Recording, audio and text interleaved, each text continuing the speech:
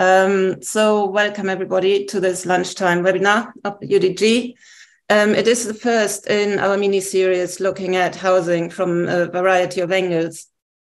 And today we will be looking at family houses and um, sustainability and kind of walkable neighborhoods, all shaped around the kind of the house rather than the block of flats.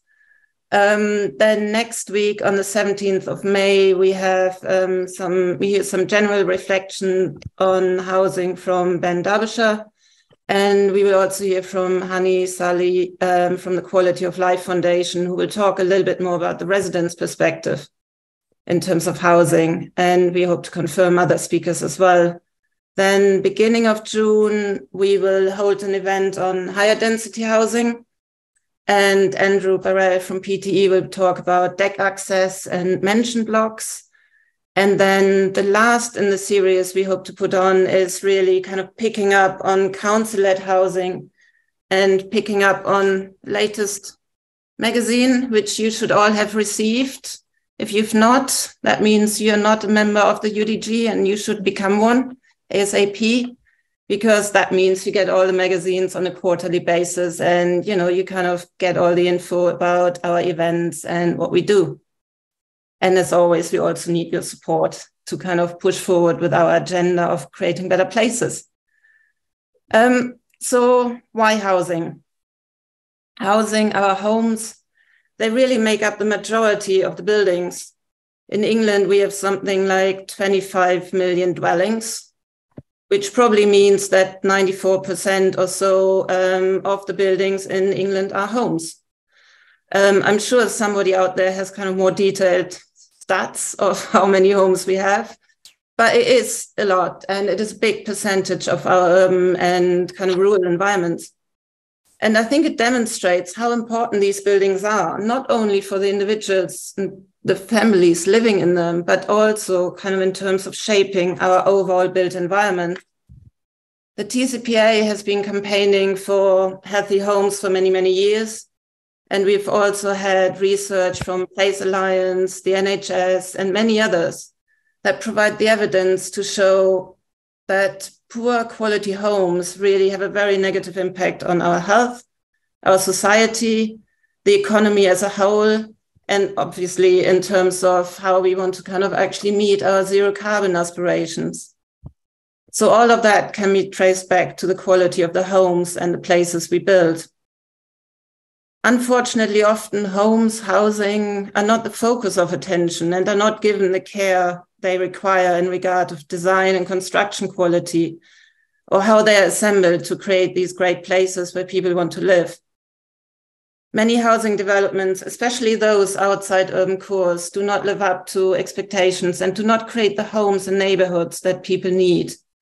And that has been very clearly demonstrated in kind of research coming out of the RTPI that showed that many of the housing developments given planning consent nowadays are actually not placed in accessible location and at lower densities and that really do not encourage kind of inclusive, sustainable, healthy lifestyles. I mean, why we are doing this, there are lots and lots of reasons, and we will come back to that later. I mean, there are a number of reasons. It's the way we buy and sell land, the nature of our development industry, the way we plan for new housing, and that's just mentioning a few. The majority of the new neighborhoods that are built on greenfield sites tend to be lowish densities, that not enable and encourage life, sustainable lifestyles, walking and cycling.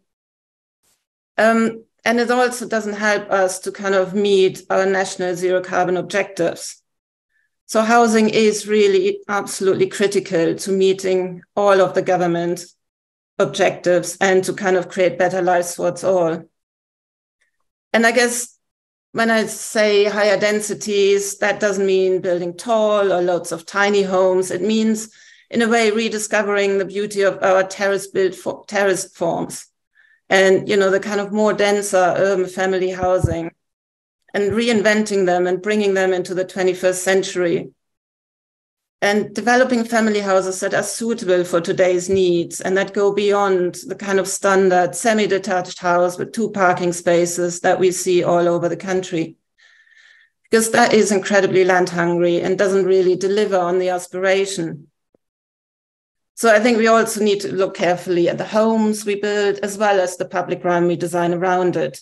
And in this mini series, we want to share knowledge and examples of developments and house types that could become a new standards. Um, these could become the key ingredients for the new sustainable, sustainable suburbs, but also the infill on kind of more urban sites.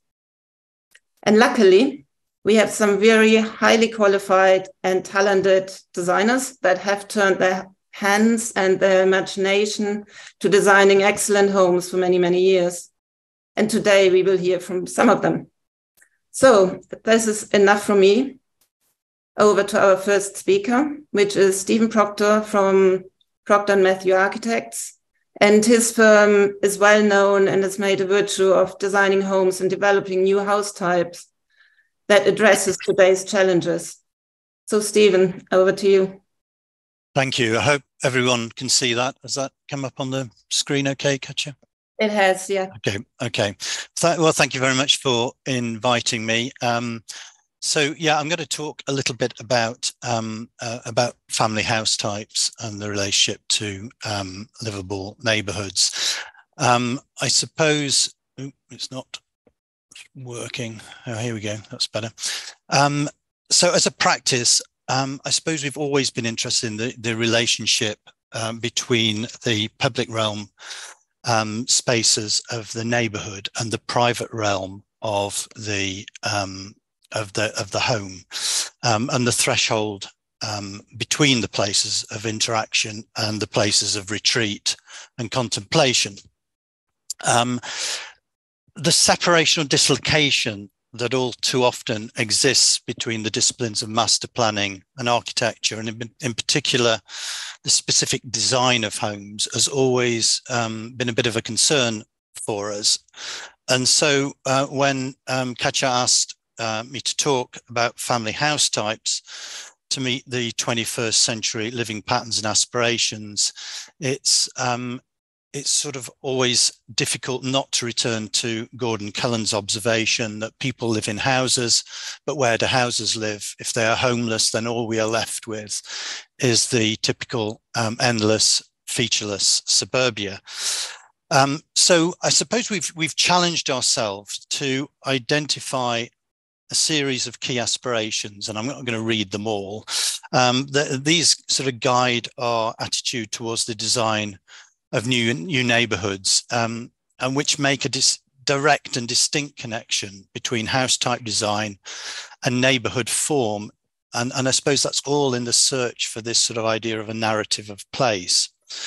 So I apologize to, those who attended my the uh, last joint um, design group talk I did with Stephen Willisey in Dundee a few months ago. I am going to show some of the same designs in fact, some of the same drawings. Um, but hopefully today I'll try to confine the comments to the design of family house types and not neighborhood identity in place. But I'm, I'm sure it's going to be very difficult. So, of course, um, as a studio, we're interested in the design of house types to respond to contemporary living patterns. Uh, we look to design types which help to increase densities to make neighborhoods more sustainable, so a sort of more efficient use of land, and to do this without impacting detrimentally on the surrounding landscape and context. We're also interested in the relationship between internal living space and external amenity space, looking for ways of extending seasonal use um, of all external areas. Um, and I suppose, like all conscientious designers of housing, we obsess about how to integrate service intake cupboards, bike storage and refuse storage and minimize the visual impact um, on streetscapes and the thresholds to each home. We look to design flexible and adaptable layouts, places for home working, for example, here, uh, maximizing the use of often neglected spaces within the home. Here, here's part of the home circulation at one of the houses at Abode at Great Kneighton, which I'm going to talk about later. We also look to incorporate ideas that we've developed for specific housing sectors to future-proof general needs housing, ideas for combating loneliness in homes for later living. And this one's a, a, project at Tetbury, completed a few years ago. And the ideas here can find their ways into the non-specific general needs um, housing projects. And I suppose here the, the, the discussion really is about the form of clustering houses around courtyards to encourage a sort of feeling of communality. But alongside that, we also explore ways of creating neighborhoods which have a clear identity and create a sense of place. House types which can define settlement edges with, without resorting to neighborhood boundaries of endless B&Q back garden fences or the default position of one-sided perimeter roads um, which interrupt the potential relationship between the home and the surrounding landscape and which after all, are somewhat uneconomic and are hardly an efficient use of land or expensive hard surface materials, come to that. Um, we're also interested, and, and the, these, these house types are deliberately designed here for a, a project in, in um, Northstowe um, for an edge condition. Um, so they, they sort of weave in and out along a defined edge of the neighborhood. Um, we're also interested in contemporary house types which uh, respond to specific issues of context. Homes which can be clustered differently to respond to topography, landscape forms and proximity. Um, form, landscape forms of proximity and the need for shelter in exposed environments. This one is at, at Horsted Park in, in Kent on quite an exposed escarpment edge. And here are the, the house types, which developed, in a sense, developed a series of houses with side gardens, which I'm going to talk about later when I, I talk about one of the big case studies. Um, this was a project um, for an exploration of, of, modern methods of construction methodologies. Um, it's called Smart Life, and it was shocking to hear that it was completed 15 years ago. Um, it seems only yesterday um, in, in the Fenlands, in March in Fenlands. And this was really about devising house types which could be clustered to respond to um, patterns of existing settlement grain, you know, the burgage plots, those long, thin yards of Fenland villages and towns. Here there's an analysis of them in, in Chatteris. And this is the final um, layout that was built um, in March or even um, new types um, to create contemporary interpretations of ancient um, sort of regional spatial typologies. Um, you know, we, we all sort of hear as you go around the country, there's the snickets of Oldham, the, the Gants of Braintree, or these long, thin lanes, the Ginnells of northern and midland towns the Twittens and cat creeps of Hastings, Brighton, and the south coast. And this is this is a, a, a recent study actually that we're it's a current project, so um, I haven't shown that one before, but that's really looking at the way in which we can use new types to sort of interlock to form a different kind of public realm environment. Or here at, at Mountfield Park, um, in Canterbury on the on the southern edge of Canterbury, responding to the orthogonal grid of shelter belts and um, hop fields or, or orchards uh, in Kent and clustering homes in a different way. So I'm going to talk a little bit more about it, about um, two projects in a little bit more detail. Um, the second one is, um, is sort of ongoing work in Ireland for the volume house builder Glenveagh, which is um, one of the projects currently on site. And th this grew, this work grew out of, of um, house type investigations that we carried out on the first project, which is at, at um, Abode at Great Kneighton on the southern fringe of Cambridge, which I'm going to talk about as well. Um, the the that that the, the first that, that first project the the the um, abode scheme is sort of I suppose has been well documented because we were very fortunate to win the inaugural um, Architecture Today Award for buildings which stand the test of time because I think it's, it's been occupied since um, parts of it since 2012. So really just to um, sort of start the the that discussion, this this is a sort of conventional suburban street. It's one that is often built. This this from examples in Ireland, and I just I thought it was just worth identifying what, where the problems really lie. Um, so you've got a, a, a, sort of terrace of parallel terrace of, of houses with parking, two car parking spaces per dwelling, mostly on the frontage, um, and back-to-back distances, sort of habitable room to habitable room distances of 22 meters. And, and when we're looking to increase densities, of course, this is the real challenge. When you look at the street on the right there, you can understand why this isn't a place for children to play. It has no sense of enclosure. Um, and if you look at the sort of the built form, this is one just sort of currently under construction, you know, approximately 30 square meters per house at the front of that, uh, of, of the front of the house is sort of lost to cars and service requirements um, and sort of access by the front of your, your car.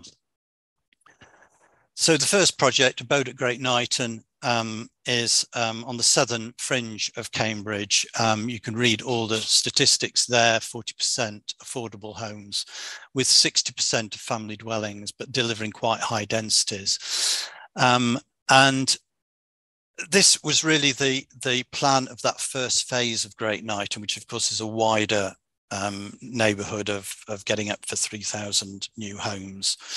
Um, and I suppose what I wanted to do is to talk about how we could deliver those densities without, without having a, a large number of apartments. So the basic concept was to start with a sort of formality of a square, which sort of tried to tame an existing roundabout going to Addenbrooke's Hospital, then falling back towards the plantation uh, on the edge of that drawing there um, with a series of mews streets, and then these long, thin, fine grain, um, we call them green lane um, terraces reaching out to the plantation. Now we've got it in a little bit more detail. And I wanted just to first talk about getting those densities, how we can actually achieve more family homes um, within a small area.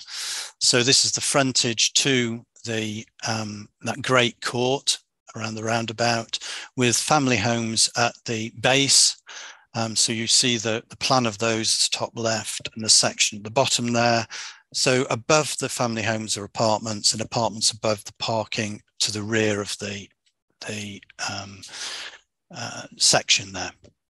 And, the, and I suppose all this project is about um, maintaining privacy of private amenity space. So the apartment looks out into the Great Court. It has high level windows that let light in um, on the opposite side of the apartment. But the house below it has total privacy within its courtyard as the apartment, the, the, the flat over the, the garage looks into the mews. Then moving through into the mews streets, we developed a series of house types there, which again look to challenge those back-to-back distance. So we're talking before about 22, sometimes 20, 25 meters between habitable rooms. Here we were down to 12, just over 12 um, meters um, between the facades of buildings to the rear. And we achieved that by, by creating two um, living spaces, a family living space and dining area on the ground floor opening out to a garden. And then on the first floor, uh, where you've got a little bit more of a, a private retreat of a, a uh, living space, you have a courtyard terrace um, and the bedrooms look out into that. So they're not looking across the neighbor. And I suppose all this is about sort of the careful consideration of the types in order to meet those densities. And then moving further into the, um, the green lanes, um, we, we sort of picked up on the, on the grain of local sort of vernacular agricultural buildings, these sort of long, thin uh, bordered buildings. And there's something quite intriguing about a, a, sort of thin house. I mean, you're you're, you're filling the, the, the house with with daylight um, on from from both sides, but you can actually control which side you open, um, uh, and and give an aspect to. And so all these houses actually have side gardens. They're deliberately designed so that they um, uh, constructionally they're the same width. So um, in terms of the construction details and procurement of trusses and things like that, they're all the same. And so there, there you can see the benefits, I think, of this sort of narrow house. It's a wide front to the street, um, but a long and thin house that has direct access out into the gardens um, from all the living spaces on the ground floor. And I think that's sort of that's that offers the benefit beyond a conventional terrace house when often you only get a living room or a kitchen that has access to the garden.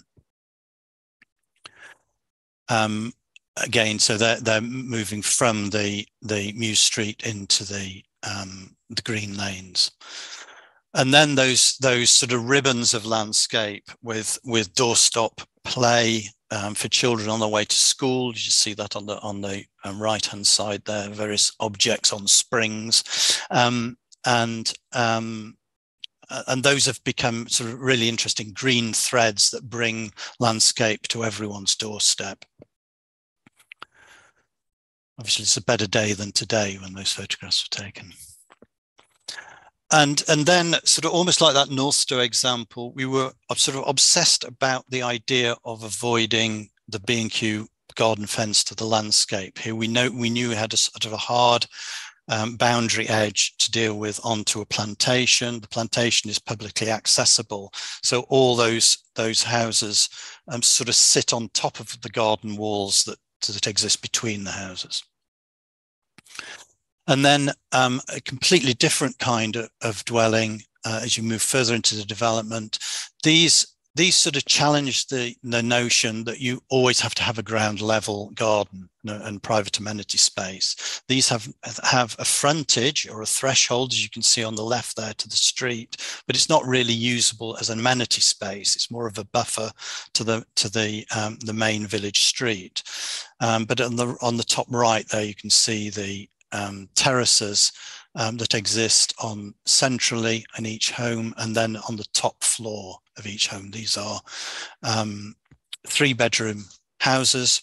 Um, and I suppose that in terms of the, their, their type, we were always told that they'd be the last to sell because um, they didn't have gardens, they were actually the first to sell and people queued up to buy them. So there's a sort of an interesting discussion about amenity space, whether it's better to make more usable amenity space. Here we've got um, terraces off the two um, top floor bedrooms. So each bedroom has a terrace. So you can imagine that that would be very useful for sharers. Um, and so there's a certain amount of flexibility within that. And then the central terrace is at the first floor level.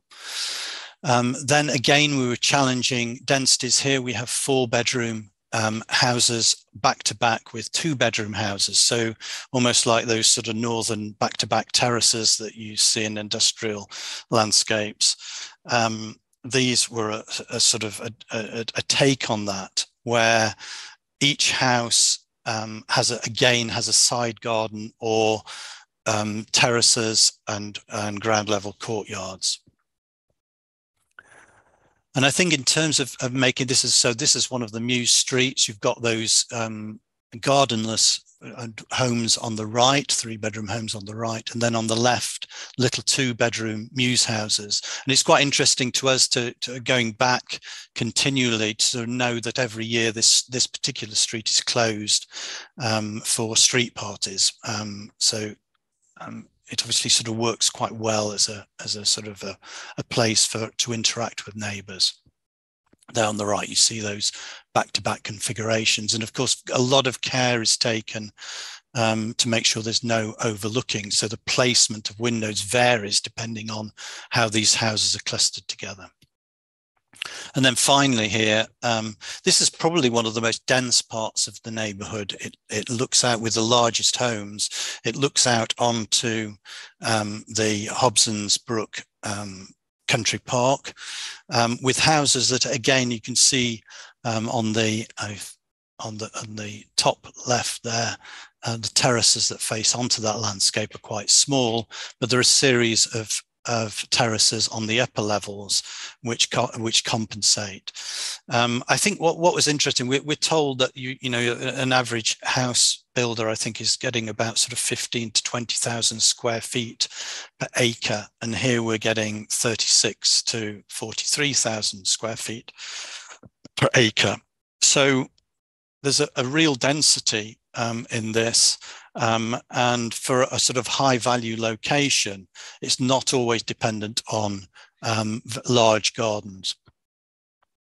Then just quickly moving to um, the second project, which um, started as, as a, a, a, commission to look at um, a new suite of house types for Glenveagh as a house builder in Ireland. And we were immediately drawn to um, away from that, that standard product uh, to something that gave a much more sort of collective, um, communal um, flavor to the streetscape. So this is a, a traditional, um, I think in, in Ireland they pronounce them as clahans. In Scotland it's clachan.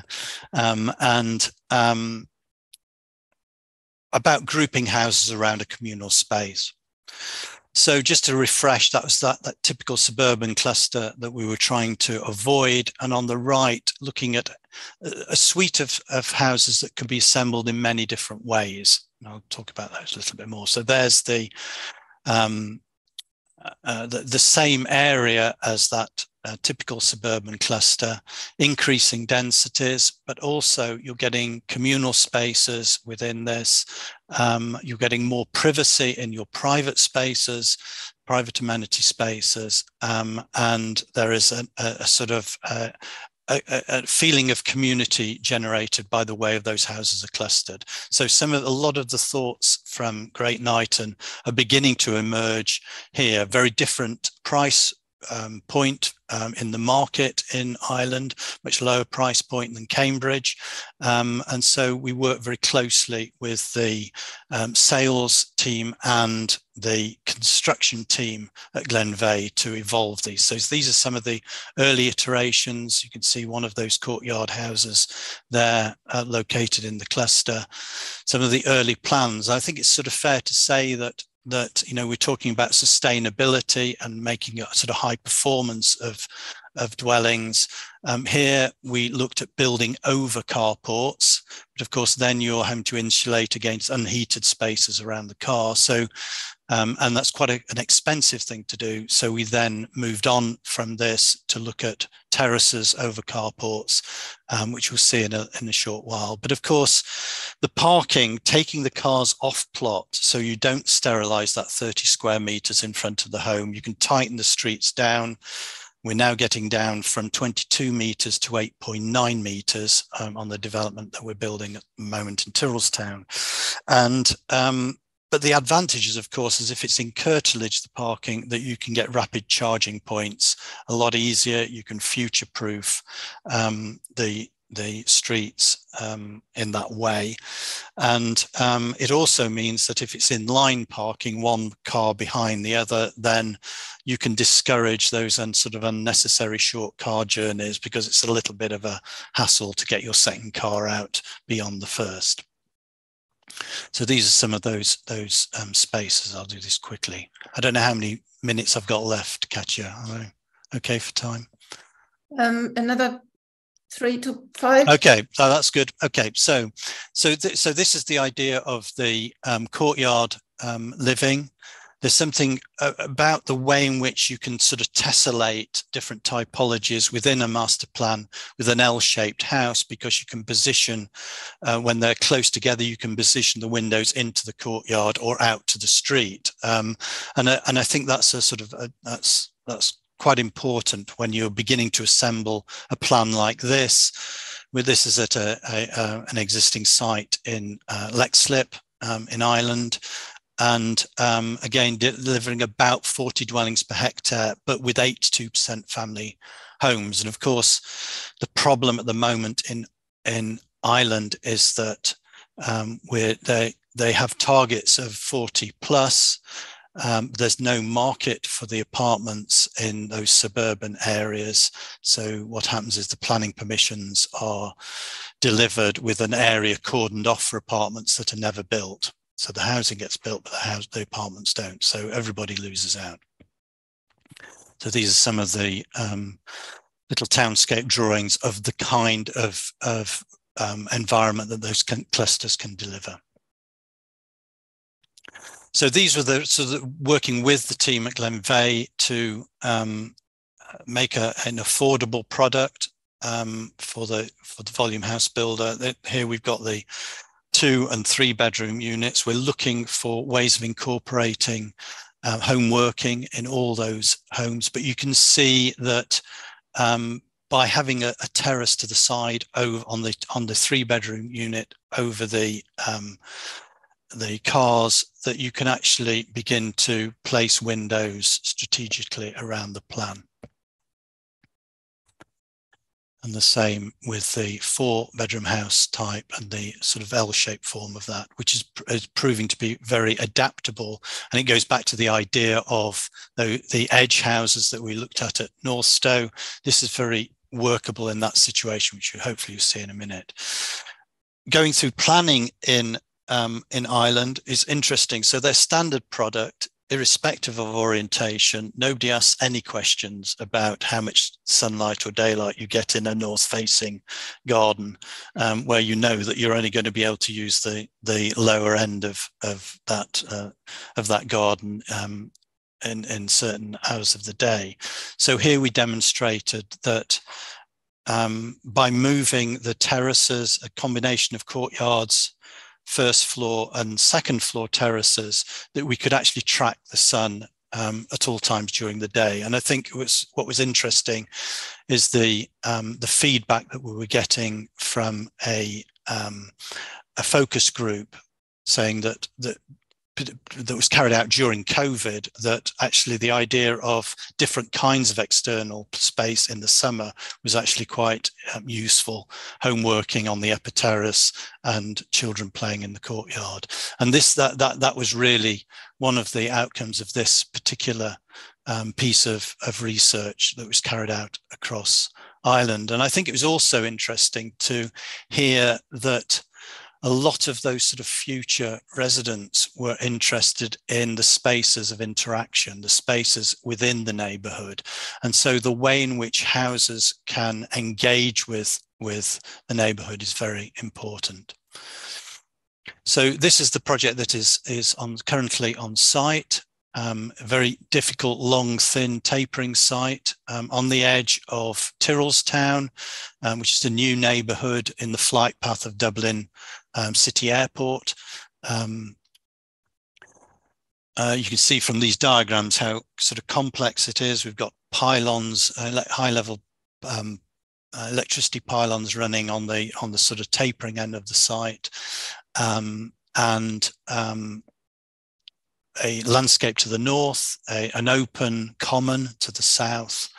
Um, and so we're trying to make those connections through that. So these are some of those uh, the early sketches. And you can see on that left-hand side the way we're sort of juggling with those typologies, uh, twisting and being assembled in different ways to form different kinds of um, clachans, these sort of communal spaces. So the diagram bottom right there looks at a um, productive garden in the center um, and a more public um, clachan um, when uh, of number two. Okay, Stephen. Yep. You...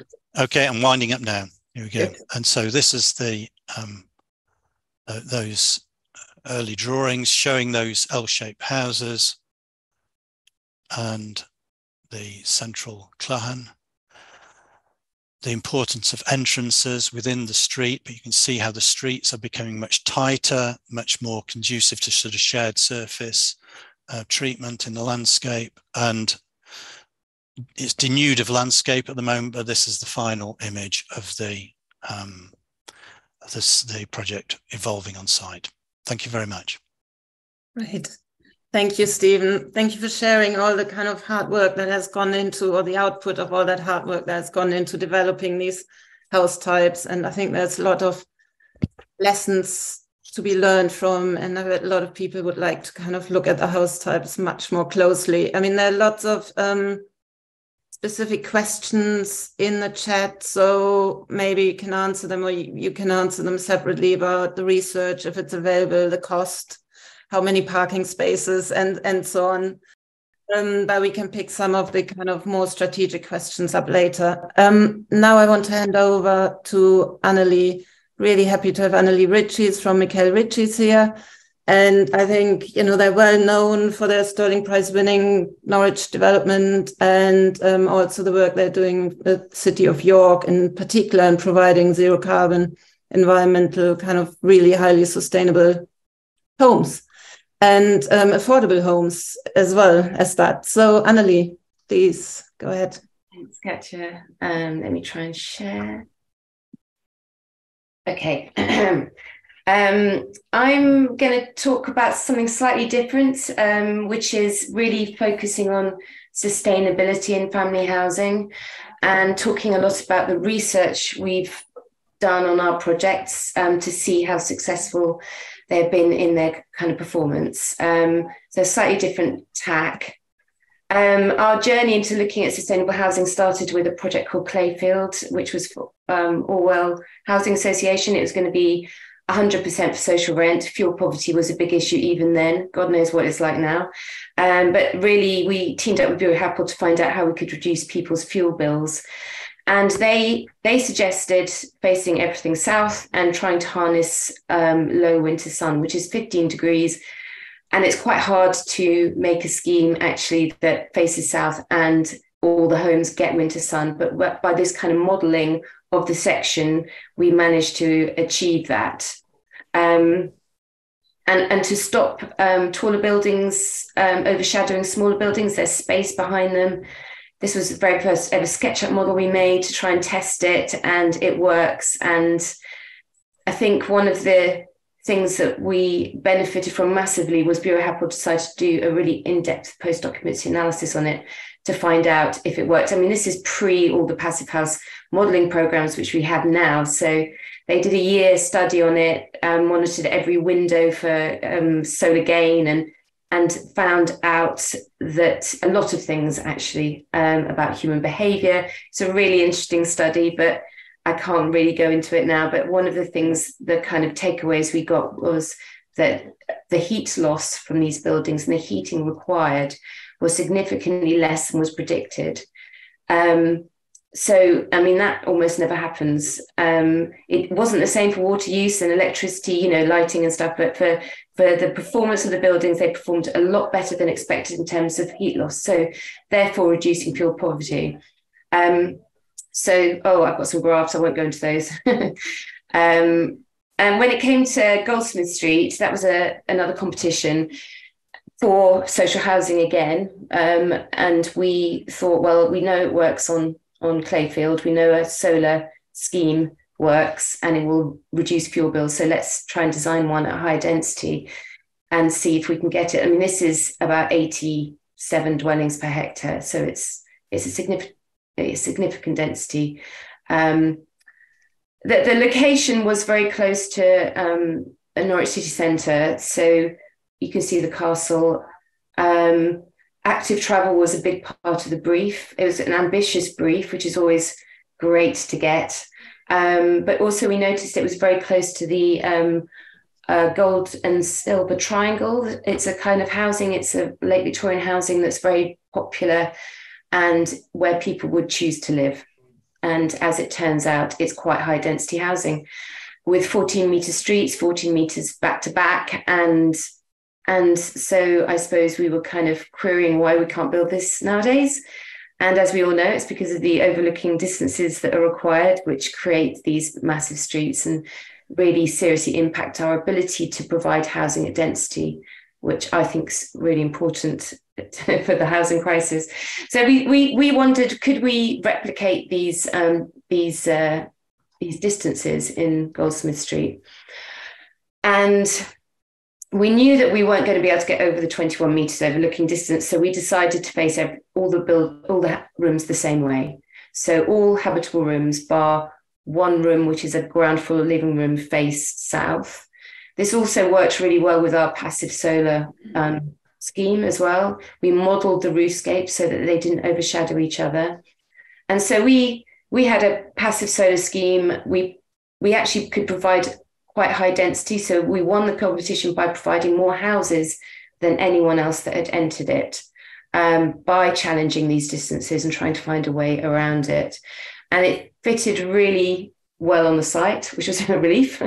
Um, so we've managed to provide these really simple terraces of houses with 14 meter distances, and and they are kind of connected by these social spaces, either private, semi-private, or open um, bits of landscape for the community to use.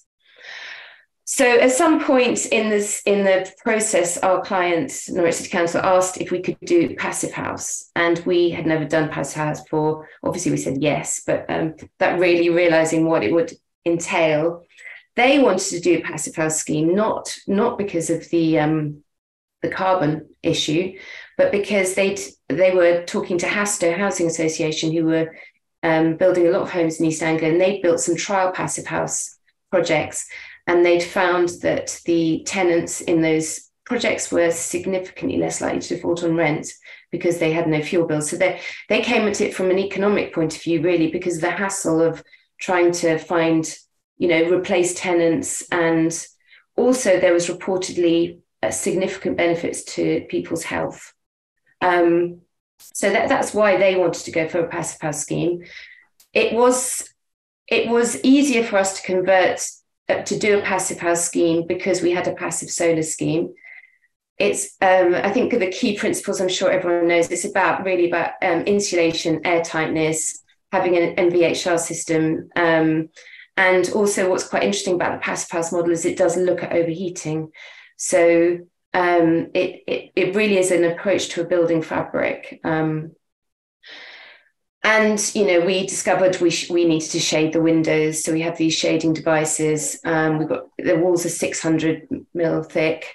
Um, so we we've we've designed a lot of the detailing around trying to make openings in these really thick walls and splay them. And um, so it did have a slightly different approach so here's the south facing terrace because they've got a north facing garden, they actually um, to the back, they we've actually given them quite a big south facing garden, which all they're using a lot. We often see people sitting out there, people's washings out there. So they got a bit of front garden, whereas the north facing terraces, which clearly have less glazing because of um, the passive house um, program, they're hard up on the against the street. And so really we've tried to kind of make the most of every single corner of this with these kind of densities it has to work really hard. So we have a cold outer skin to the buildings and these these form the entrances and places for post boxes. Um, i think one of the brave things norwich did was put these kind of we're, we're, we're calling them ginnels here but i I think that's a northern term, but these alleyways at the back, these kind of enlarged spaces for residents to meet, and they've proved incredibly successful. It was a very brave decision to do because I don't think people really worry about this kind of unmanaged space.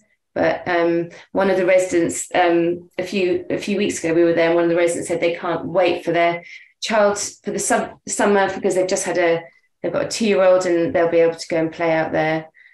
Um, and that's them. I mean, they're they're not big spaces um, at all, and we tried to managing privacy is complex. I mean, we've we kind of carefully set the heights of the fences. Some people have filled in the gaps because they want to be more private, but that's fine. And generally, they're they're really well used.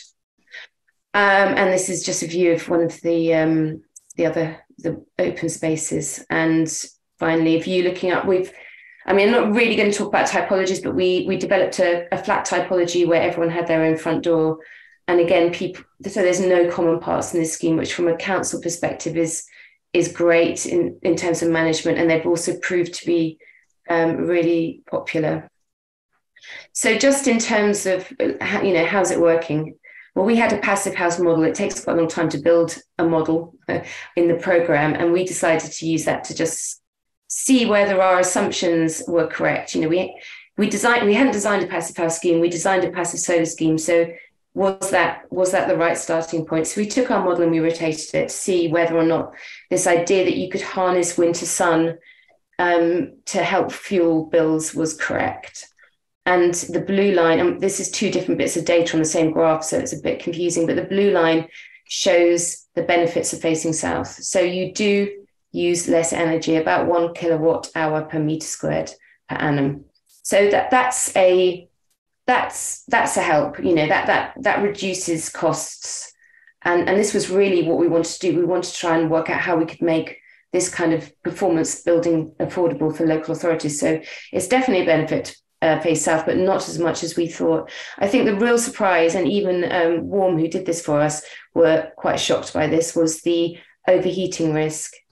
Um, the overheating risk increases massively beyond comfort levels if you face it east and west. And now, obviously, you can shade east and west, but it's more difficult than from the south and it's more costly. So, th- this was very interesting. Um, we also looked at um, overshadowing. Um, again, it's obviously there is a increased energy demand if you're in shade, but again, the, the magic number for passive house is 15. So you can, it, it, it does work. Obviously, the less overshadowing you have, the the less you spend on insulation. Um, but we appreciate high density schemes struggle with this issue. And the other one was form factor. You know, how many terraces are an ideal number for for having a good form factor. A single house is obviously you know harder to make passive house. It's not impossible, but you're just paying for more insulation. Uh, once you're past six, um, five or six uh, houses in a row, there really is no benefit. So actually, this was um, kind of fed into our work later for York um, why build passive house? Well, this is just really looking at the CO2 emissions for a building regs building and a passive house building. So you can see after 30 years, that's a lot of carbon. And, you know, what do the residents think? Well, the, the Guardian did an article recently. They went down and, and talked to the residents, and some say that they were not even having to, they had never turned their heating on. Um, we they called it life changing, and we've had letters from residents saying that they've invited people around to their house the first time. They're no longer reliant on food banks because of this. Um, so we did our own post occupancy analysis. We asked people to fill in the questionnaire. 10% did, which is a bit disappointing. Um, and we need to work out how we can get more people involved with this. But generally, there's that there are health benefits, um, definitely improvements in sense well-being, um, and interestingly, people are using active travel a lot more. Um, so on to York. Well, um, this is a, a, housing program. York were quite, and this is a really unusual thing that they wanted a housing framework with one architect on. They've got nine sites and they want to be able to learn through a process and they want to use one architect to do that, which is really unusual. Um, and one of the first things they did was um, produce a um, design manual um, with a set of really simple aspirations. So, healthy homes and neighborhoods, it, reducing impact on the environment, and so saving on energy bills, delivering the housing our residents need, which has been quite interesting.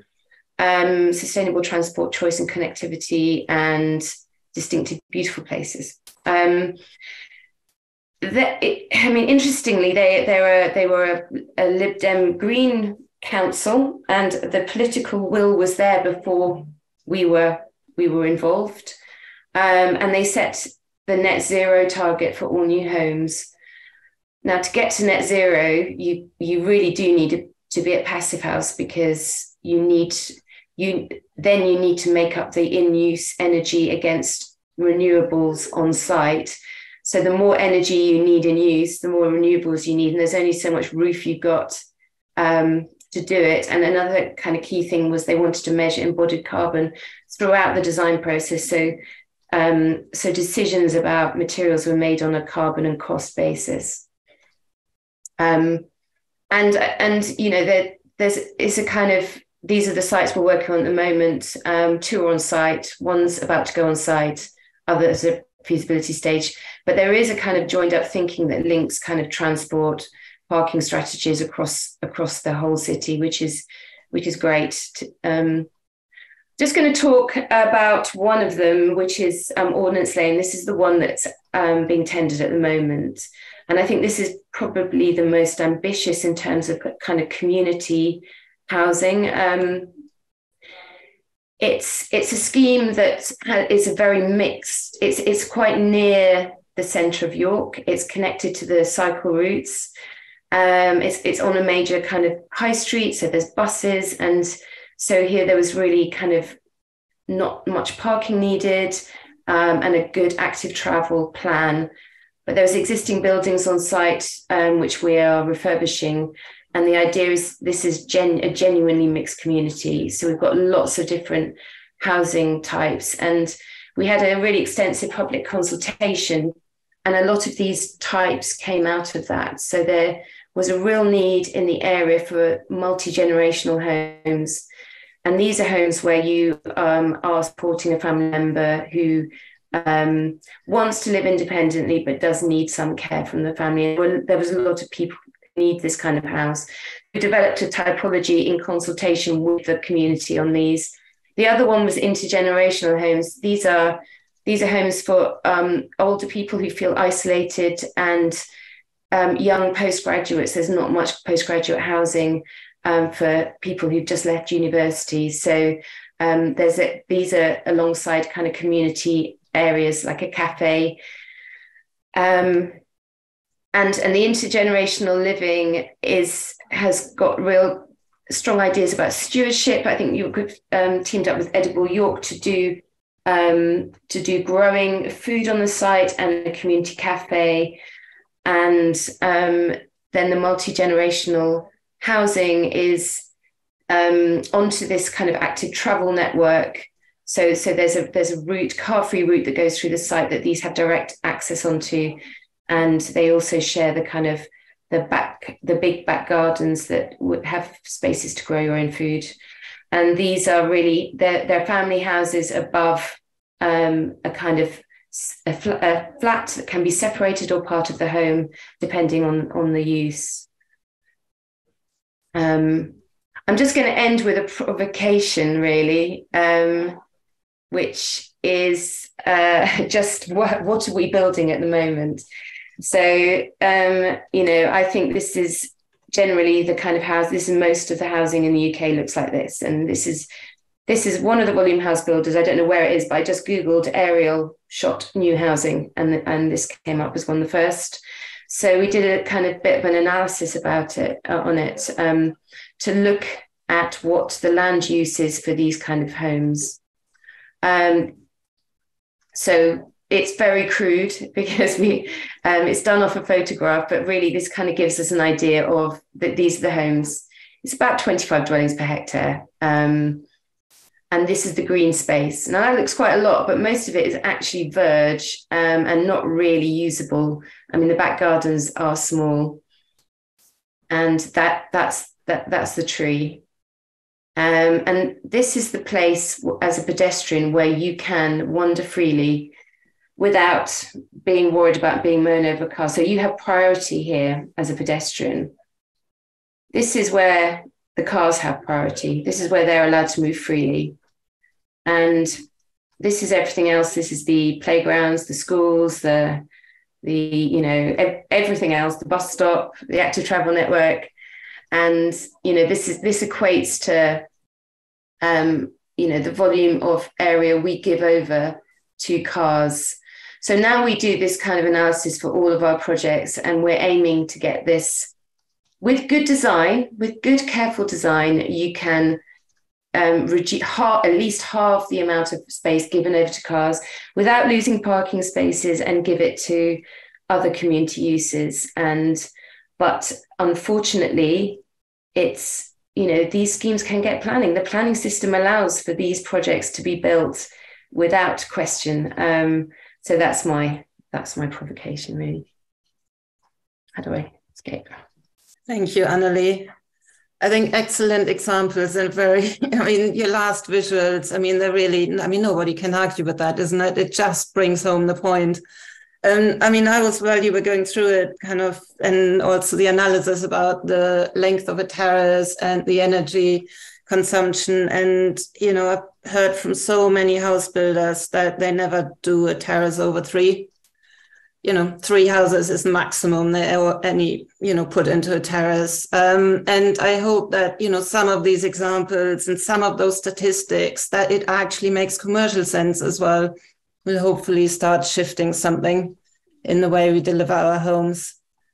Um, so now to the last speaker, and then we have time for Q and A. We're aiming to kind of be finished at at one third, uh, two thirty.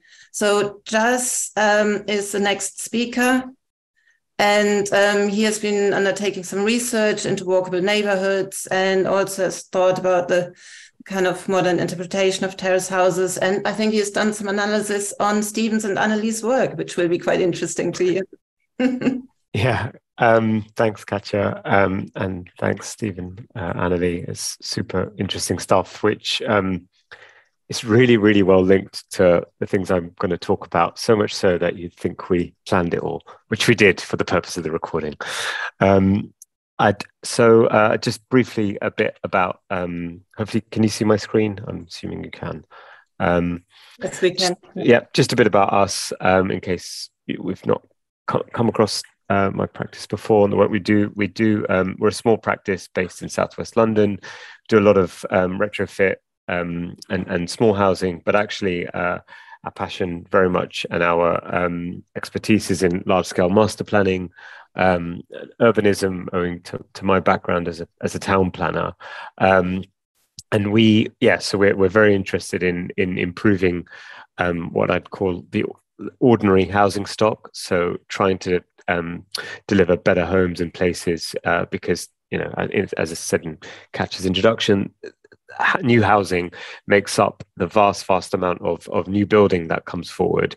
But for some reason uh, architects designers as a profession uh, uh, architects and, and designers more widely are just not involved with with the vast majority of housing that comes forward. Um, uh, and that's why most housing looks like this, or this, or this, or this, where um, it, it, you know, you get small, subtle deviations in in color, in facade treatment, even in in you know uh, ornament, but really they are the same sort of car-based, low density, but below 32 dph. Uh, you know, two car parking spaces per plot. Uh, others have spoken in depth about this, um, so I won't I won't bore everybody with further details on this, but you know these could be everywhere and and, and nowhere um, and i think we were this was some of these images were collated for a previous presentation we did, and we looked at who was building uh, sort of the, the 175,000 homes that came forward, I think in 2000 and in 2021. And we found that over 50% of those was delivered by the largest 15 companies. So, in terms of variety and diversity and a healthy competitive marketplace, um, we don't have that at all. Uh, it's very much um, a, a few house builders, we won't name them, but they have a monopoly on what gets built forward. And, um, you know, whilst there are certain subtle variations in things it's very much the same same stuff everywhere. So i want to just talk about some research um, that we we were uh, asked to do um, for essex on improving walkability. And uh, our our brief was very much looking at um, challenging walking distances between new homes coming forward and uh, existing or new amenities. And we looked at the brief and we kind of said actually what we yes walkability is is uh, and and closing down proximity is central to what we we need to be thinking about. But in order to achieve this, you really need to be thinking about house types and block types because um, you know we don't. There are very few opportunities uh, at present to kind of build holistic new settlements, and so a lot of the way uh, places like Essex is, are growing is through incremental development of 100 homes here, um, 500 homes here, up to a thousand homes in in in location and in another location, and and really the, the very few of those schemes can even support a, a, a couple of corner shops, let alone um, a proper urban centre. So we need to be looking at how we can improve those sorts of schemes. Um, so we we we took three case studies of what we'll call um, uh, the conventional de- development types, so different scales um, in different locations, different geographies, um, different sizes, and even a, a, garden village, just to understand how uh, how places like Essex, which I think are very indicative of of most parts of the country, are currently growing. And hopefully, Annalie, this will you'll enjoy this um, land budget analysis that we did on all of these these schemes. So we um, we took a, a scheme. Uh, by um, Old Dunmow. Um, this got through an appeal, a thousand homes coming through an appeal, not seen by a design review panel, um, you know, brought forward using standard house types. Um, and we did a, a, land budget analysis of um, the planning application drawings to demonstrate that, uh, in line with your findings, um, around 25% of the total area is given over to the storage or movement of vehicles. Um, houses, that the actual places where people spend most of their time, makes up almost a tenth of the site, um, and and you know back gardens and verges are a huge proportion. And I think it's really important to make a distinction between useful green spaces that are productive, that are uh, carbon sinks or you know enriching biodiversity and verges that are used because traffic engineers require setbacks and visibility splays um, and all of this was to kind of to unpick the model uh, that dominates uh, most of the way, you know, 95% of housing comes forward, and try to argue that both in terms of outcomes for people, for place, for for for viability, there, there must be a better way forward. Um, and we we created a kind of infrastructure ratio, which is a term um, used to, to, to refer to the amount of hard and soft landscaping uh, required per dwelling to show that um, you know, to, to allow cross comparison of of um, of different sites, so you can see some of that data there. Um, and then again, um, demonstrating that the way cars are integrated into plots is is is quite challenging in terms of um, moving beyond 32 dph it's very difficult to, to increase density if you're only ever using these building blocks and that's why we i think as an industry we do need to have a concerted it's it's i find it um, sort of disingenuous, I think, to have a conversation about density, walkability, if we're not talking about um, product types and, and, and house types, because without them, you can assemble these in slightly different ways, but you'll always end up with something that's low density and, and as a consequence, car dominated because we don't have the vi- vitality we need to kind of support other, other, other uses. Um, and and this is an image from I'm sure everybody in this room is familiar with it from Vauban in uh, in Freiburg, which continuously uh, for you know a quarter century is held up as the sort of pantheon of of or the the the epitome of of what a car free neighborhood looks like. And you know it would be great if in five ten years time we had comparable examples in the UK that we could share and that were as widely celebrated as this is a sort of you know um, way of living uh, with closer relationship to nature. And um, the, the, team we were working with on this particular piece of research were very keen on learning from Vauban. And um, so we, we undertook a land budget analysis there, which showed, you know, because they've got parking garages and um, um a lot of a lot of the um, car parking provision is off-site it's shared it's pooled um, there's a, there are apartment buildings it allows you to do you know it frees your hands so that 20% of, of um, the, the sort of land budget is is occupied by buildings and that doesn't reflect the fact that a lot of these are apartment buildings. So the uh, the intensity the density of of and the way we're using the land is is even more productive than than this diagram shows um, we we really wanted this piece of work to be very practical and um, something that we could challenge a lot of the UK industry. So we wanted to kind of look at. Uh, obviously, there's no there's no comparable, I don't think, of of what Vauban achieves in in the UK. So we wanted to look at sort of best practice UK examples of high density suburban living to demonstrate that another way is possible, and then harvest some of the best bits of those to to kind of challenge some of the um, design constraints that Stephen and Annalie have described. So obviously, um, the first scheme we looked at was Goldsmith Street, um, and we did we ran a, a, comparable land budget analysis to show that uh, you know that the percentage of building is is so much higher. Um, there's there's a greater proportion of footpaths. Um, back gardens, whilst much more compressed and and you know that compression is absolutely vital in terms of lifting the density uh, still make up a sizable proportion as does um, uh, the, um, uh, the, as does sort of hard standing areas, which you know they are also amenity spaces. And I think parking, I think I saw anecdotally was talked about a lot in in the comments and is always a big challenge. But I think here, um, and interrupt me, Annalie, if I've got we've got this wrong, but I think it's about 0.8, uh, a ratio of about 0.7, 0.8, which is achievable with a terrace form, which is one of the big constraints on delivering terrace housing. The need to kind of um, puncture your your your your uh, your linear blocks with parking. Um, so you know, is there a way we can begin to sort of? It's not in some ways it's quite low tech, but um, remembering what we've we've forgotten how to do.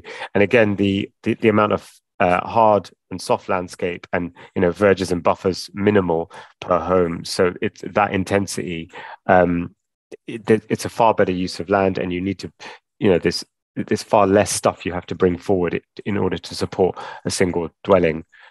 Um, I won't, Annalie, I won't go go too much over this because there's a few things to, to we want to share. I mean, this is a um, another scheme uh, in Somerset called Lime Lime Lime Street Square. It's uh, um, about ten years old now, but it follows a similar pattern of uh, blocks orientated uh, north north south for maximum um, solar gain. Um, they have in, in, in this scheme though they have uh, sort of garages integrated to allow um, one on plot park, car parking space um, and again uh, highly efficient. Um, and and the interesting thing here is there's um, some non-allocated spaces that run sort of um, perpendicular to the blocks. So it allows for giraffes and uh, landscaping that is you know for for, for different uses.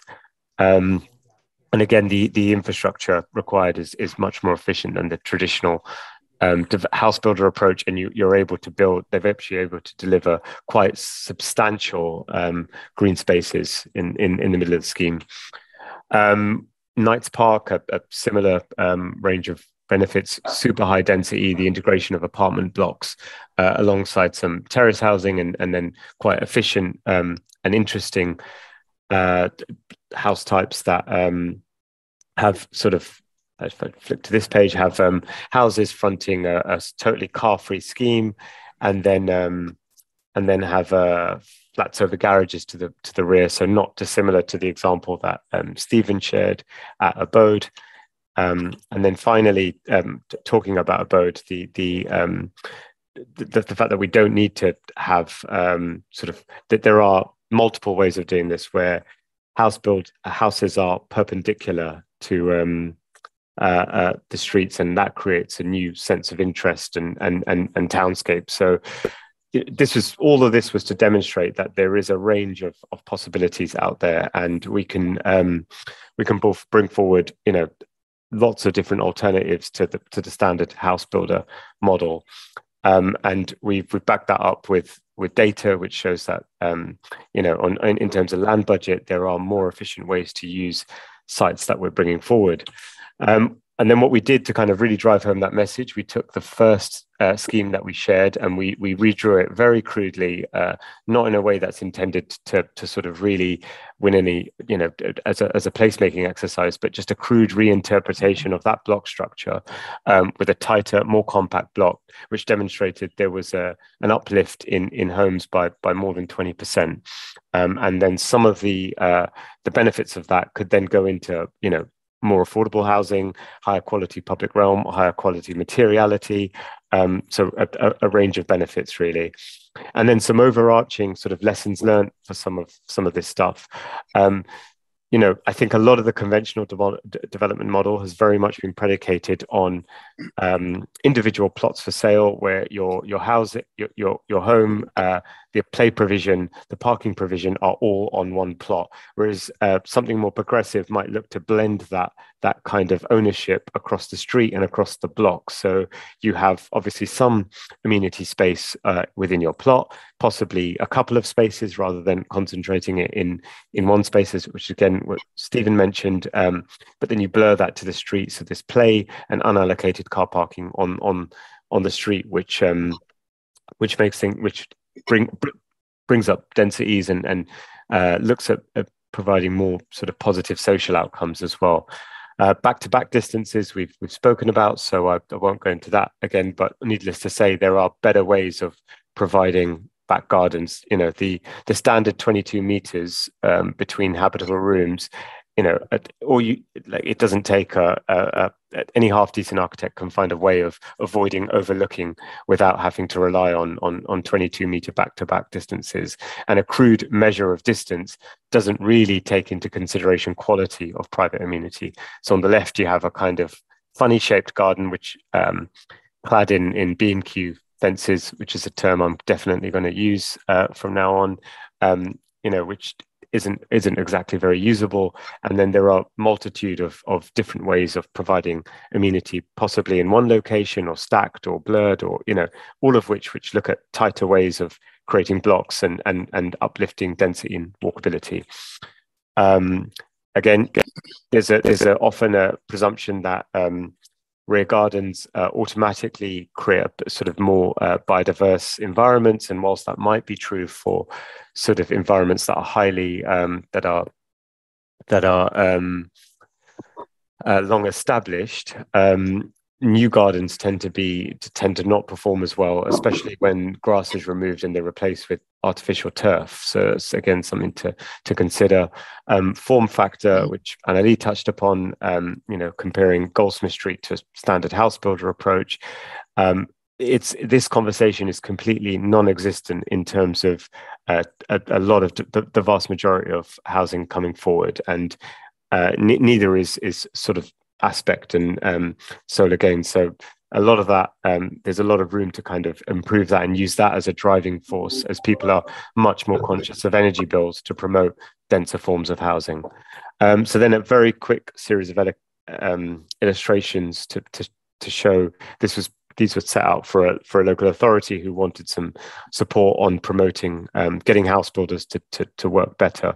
So uh, a notional development next to a um, an existing urban settlement. Um, you know, we, we start um, with reinforcing uh, existing green assets because often ex agricultural land, which is a lot of these schemes are on, don't tend to be you know super biodiverse it's it uh, unilaterally it, it, it's often the hedges the, the green assets that need reinforcing um, so using that as your sort of principal starting position and, and structuring position, um, looking at opportunities for retrofit where there are existing heritage assets, um, concentrating new uses, new mixed uses. So you know with hybrid working. Um, uh, being now being the norm, there are more opportunities for non-residential uses. I think in in in sort of uh, residential led schemes. So positioning those in relation to existing communities. So you're, you're looking at bringing places together rather than creating siloed neighborhoods.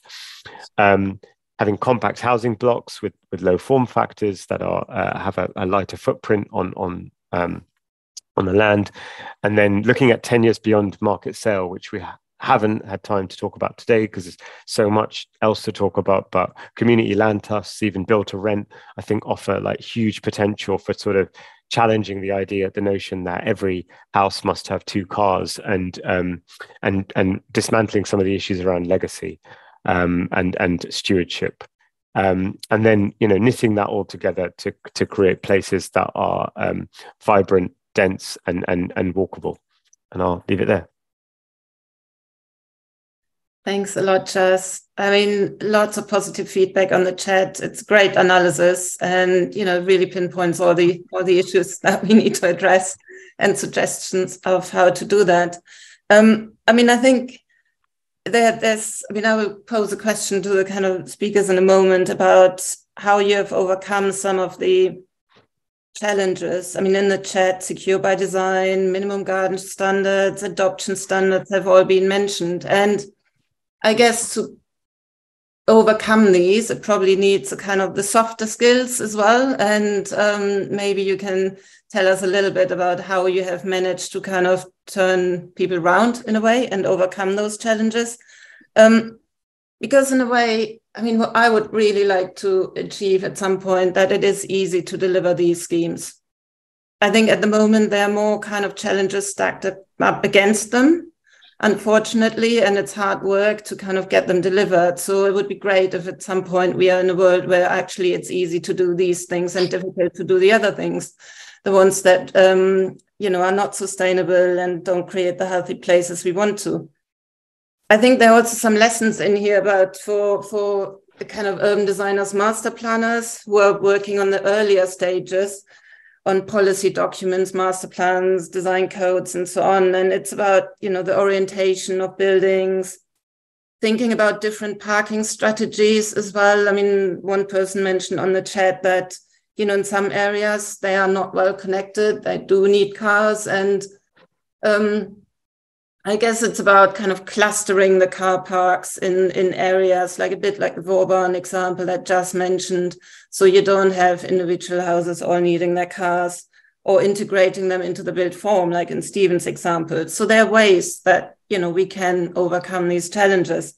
Um, so before I go back to the speakers, I think uh, we, we have a kind of questionnaire for you all because, I mean, I think we've heard a lot of challenges of why it is difficult to deliver this.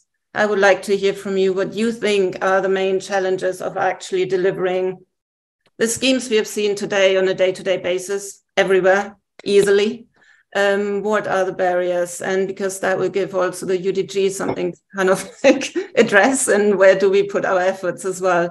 Um, so while I think Robert will pull up the questionnaire, then if I go back first, maybe to Stephen about like, you know, the challenges, what have you done to overcome them? I think, yeah. I think, I think one of the, the questions was about um, the ginnels. Um, we've not built one yet, um, but um, we have, you know, the green lanes at Great Kneighton. I don't think they were ever questioned in terms of secure by design. And I think it's sort of interesting that you know, you, you, could start to level the sort of idea of a Radburn plan on, onto those green lanes um, if you were a mind. But uh, actually, I think it's just the way that the grain works. The those spaces interconnect with streets. Um, there's very good overlooking of those spaces. So I don't, I you know, I think it's a, it's about that sort of natural surveillance. Um, and being able to demonstrate that you've overcome the principles behind some of the legislation. Um, and I think sometimes, perhaps as as a profession, we don't question those enough, and we don't sort of uh, we have to understand why they're there. But the principles can be achieved in in many different ways.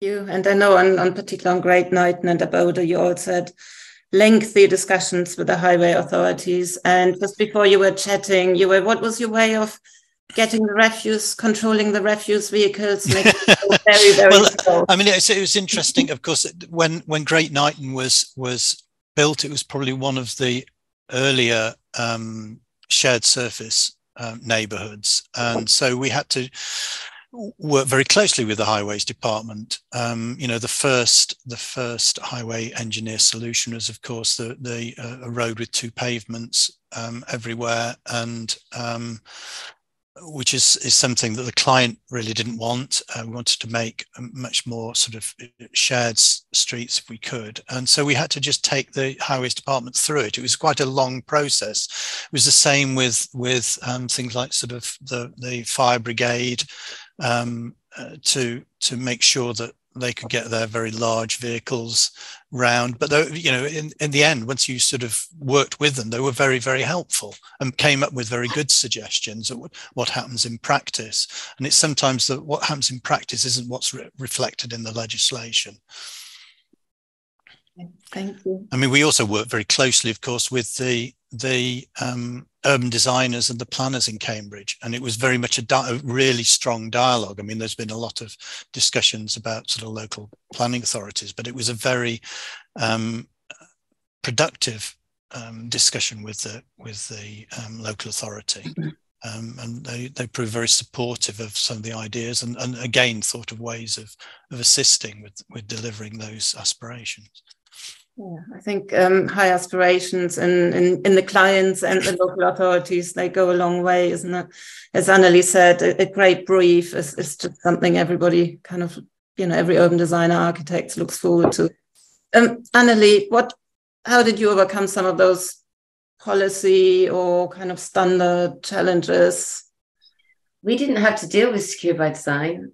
Um, I'm uh, sure back back to back distances, that sort of thing. Well, we won the competition with this idea. So that was the council, they were all involved in choosing us. Um, so there was a will to find solutions to things. I think I think that you know we we are all the buildings are facing the same way. So um, there was just a couple of issues in the flats that we need to need to sort out, but they agreed that similar bedrooms could face similar bed similar rooms. So bedrooms could face bedrooms, living rooms could face living rooms less.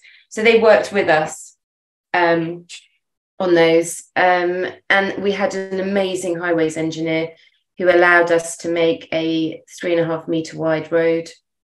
And people have to wait and you know pull in and let people pass which is probably what we're used to in london.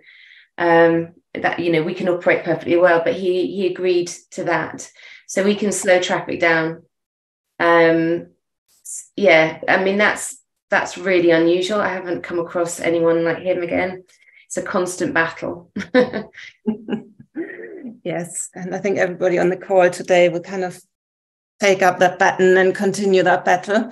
Um, shall we kind of do the um, questions now? And I think this is really um, so asking, and you know, you all put in what you think. Like, you know, what do you think are the top challenges and barriers to prevent us from delivering the quality of housing we have seen today everywhere as a kind of standard product? And um, you know, land prices, construction costs. We have heard um, planning policy. We've heard about back-to-back distances, overlooking distances, building regs. I mean, you know, they are they kind of stronger now in terms of energy, which is good. At some point, then we have highway adoption standards.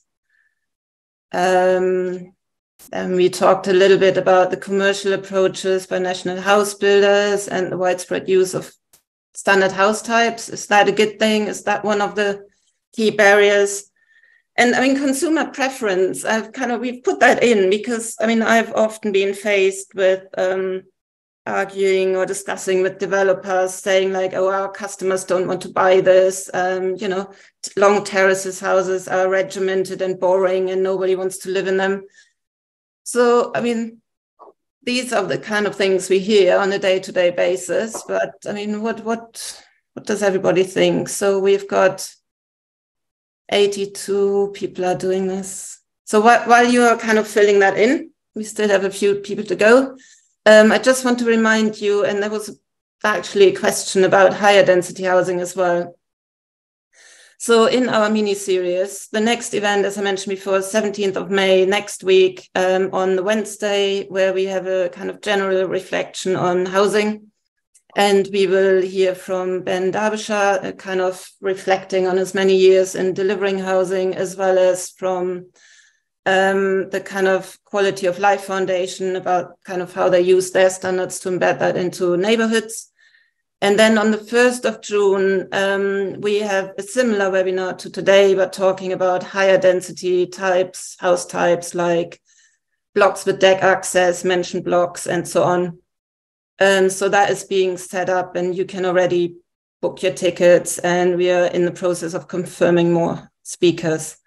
And then we also have already organized on 19th of June the Better Street Summit. So that will look at the bits between the homes and between the buildings and focus on that.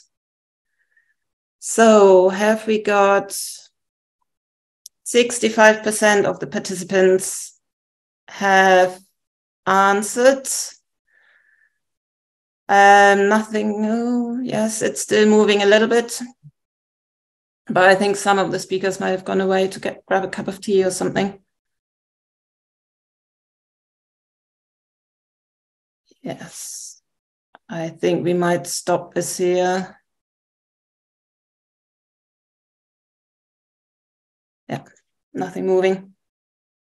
Um, Robert, what do I have to do? Just say stop sharing. yeah, if you want me to take the thing down, I'll take it down. Okay. Okay. Has everybody read that?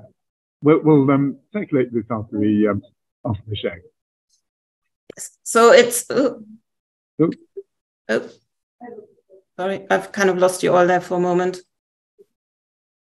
So, I mean, it's quite interesting to see that I mean, obviously, the group doesn't think it's consumer preference. That's not an issue.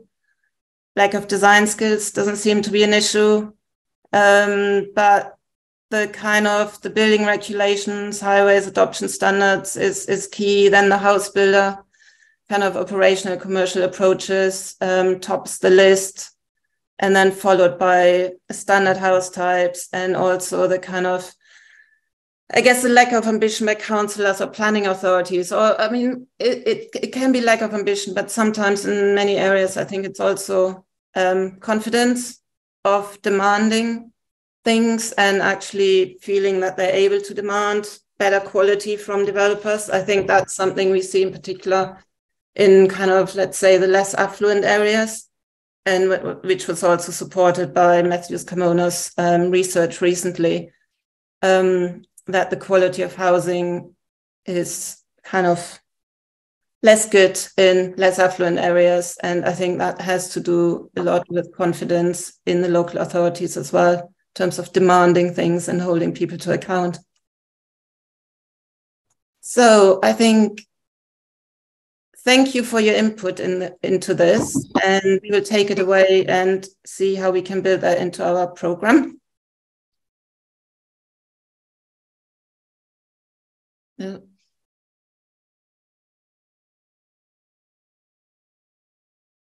Robert, I can't get rid of this screen, but anyway. Did everybody see the results? Yes. Okay. All right, let's close that up. Um, so I think, well, 2.30 on the dot. Any last words from the speakers? Otherwise, no. Okay. Well, thanks a lot for kind of joining us um, to kind of share your expertise, knowledge, and um, research projects.